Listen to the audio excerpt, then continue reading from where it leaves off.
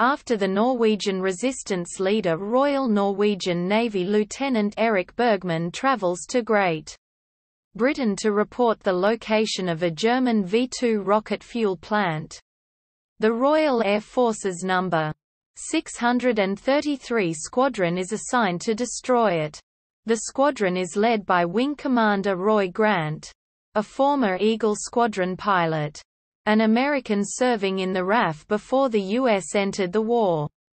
The plant is in a seemingly impregnable location beneath an overhanging cliff at the end of a long, narrow fjord lined with numerous anti-aircraft guns.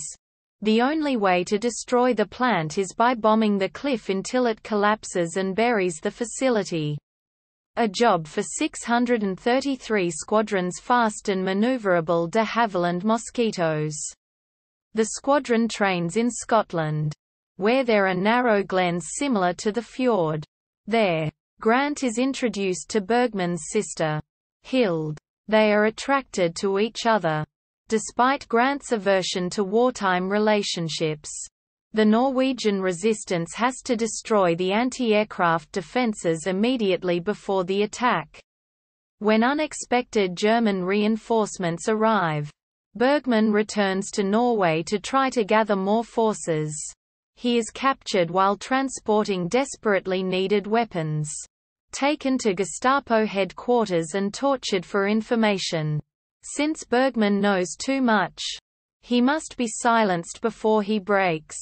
Grant and newly married pilot officer Bissell are sent in with a single mosquito to bomb the Gestapo building. Though they are successful, their shot-up Mosquito fighter bomber crashes on its return. Bissell is wounded and becomes blind. A tearful Hild thanks Grant for ending her brother's suffering. Still worried, Air Vice Marshal Davis decides to move up the attack to the next day.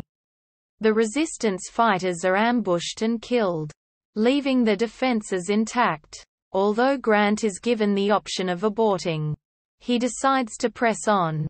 The factory is destroyed at the cost of the entire squadron. Though a few crews are able to ditch in the fjord. Grant crash lands but a local man helps Grant's navigator. Flight Lieutenant Hoppy Hopkinson. Pull the wounded wing commander from the burning wreckage. Back in Britain. Davis tells a fellow officer who is aghast at the losses. You can't kill a squadron.